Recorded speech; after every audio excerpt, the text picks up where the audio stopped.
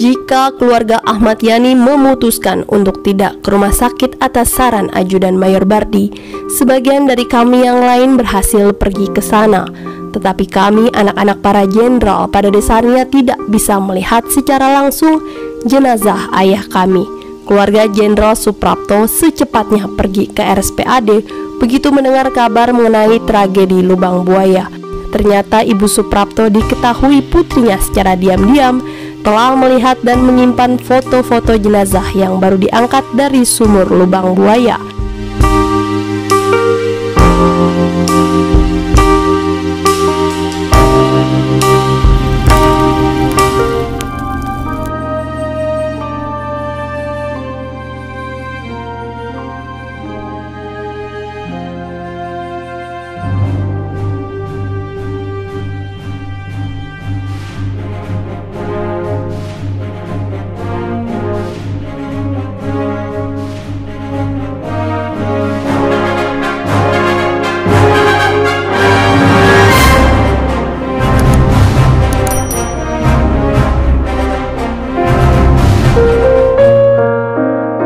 Kami berhasrat sekali melihat jasad ayah kami yang tercinta karena kami tidak yakin dan tidak percaya.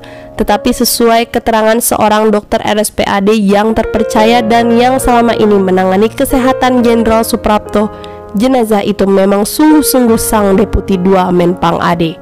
Pengalaman yang hampir sama dirasakan pula oleh keluarga Jenderal MT Haryono pada hari-hari setelah Deputi 3 Menpang Ade ditembak dan diculik, ibu, kami beserta anak saudara hampir setiap hari menghubungi rumah sakit untuk mencari informasi. Dari sinilah kami mengetahui bahwa jasad para jenderal dibawa ke RSPAD.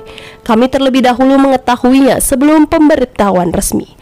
Pergilah kami semua ke RSPAD. Babab, anak tertua, dijemput di sekolah oleh tante kami yang tak hentinya terseduh-seduh. Kemudian bersama-sama menuju ke RSPAD.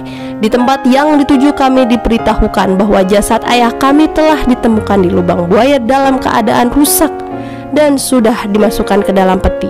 Oleh para petugas kami tidak diizinkan melihat secara langsung. Ibu tidak membantah karena niat ibu untuk menyaksikan dengan mata kepala sendiri jasad ayah sudah menjadi sirna. Namun kami dan ibu yakin bahwa salah satu jenazah itu memang Jenderal MT Haryono terbukti dari cincin kawin yang terlingkar di jari manis ayah. Dari kisah tadi jelaslah bahwa tak satu pun di antara kami sempat meneliti secara langsung jenazah ayah kami yang dibersihkan di RSPAD. Kami tak diizinkan melakukannya Sebabnya apa kami tak paham mereka hanya mengatakan bahwa pada dasarnya kami semua tak siap secara psikis untuk mengenali dengan mata kepala sendiri jasad ayah kami yang sudah sangat rusak.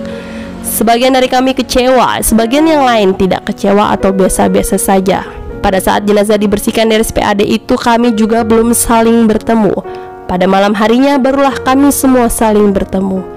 Ini terjadi karena kami semua diminta datang ke markas besar Angkatan Darat atau MBAD di Jalan Merdeka Utara nomor 2. Waktu itu kami memperoleh informasi bahwa jasad dari seluruh korban G30 SPKI telah dipindahkan dari rumah sakit ke aula MBAD.